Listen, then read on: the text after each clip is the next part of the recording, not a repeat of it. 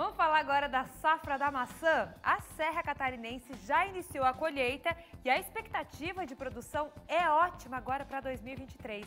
Cláudia Plete está ao vivo porque ela foi conferir hoje pela manhã todos os detalhes. Cláudia, então conta pra gente primeiro quantas toneladas que o nosso estado deve colher esse ano.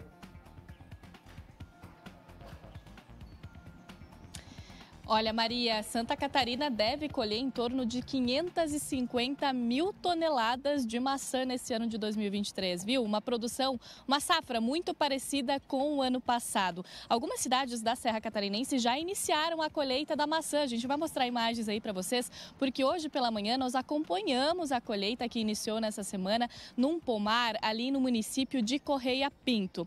Olha, de acordo com informações, então, da Associação de Produtores de Maçã e Pera de Santa Catarina, a MAP, nesse ano a produção deve ser muito parecida com a do ano passado em termos de quantidade.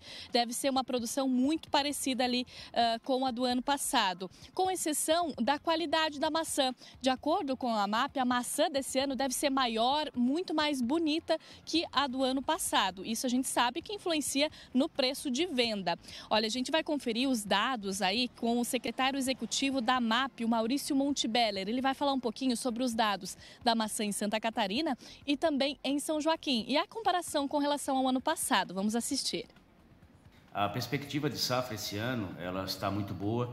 É, em relação ao ano passado, é, temos aí uma quase uma mesma quantidade. O ano passado, São Joaquim colheu 280 mil toneladas, Santa Catarina 510 mil toneladas e a perspectiva para esse ano aí, para São Joaquim, 300 mil toneladas e Santa Catarina, 550 mil toneladas.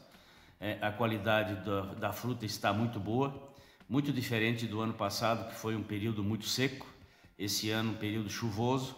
Consequentemente, os calibres das frutas é, estarão bem maiores. Né?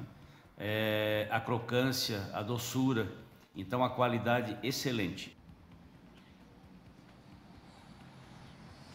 É, olha, São Joaquim a gente sabe que é a capital nacional da maçã. São uh, esse ano 300 mil toneladas que devem sair só de São Joaquim. Imagina, o estado de Santa Catarina deve colher 550 mil toneladas e dessas 300 mil toneladas só de São Joaquim.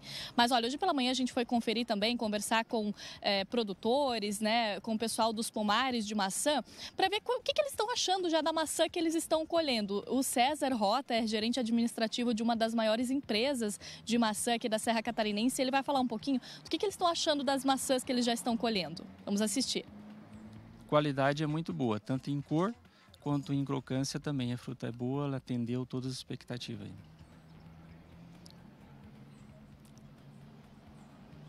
Qualidade, cor, sabor e crocância, né, que é bem importante aí para agregar valor na venda da maçã. E olha, no ano passado, Santa Catarina exportou 7,86 10% da produção de maçã, quase 100 mil toneladas. Então, aí de cerca aí de quase 500 mil toneladas, 100 mil foram exportadas. Nesse ano, deve ficar nessa média também aí de acordo com a AMAP. Colheita bastante bacana nesse ano de 2023 e que a gente tinha aí um certo receio por conta do frio em novembro, mas que acabou não atrapalhando aí nos grandes pomares. Volto aos estúdios. Notícia boa para a Serra Catarinense, né? Para todo o nosso estado. Obrigada, viu, Cláudia, pelas informações.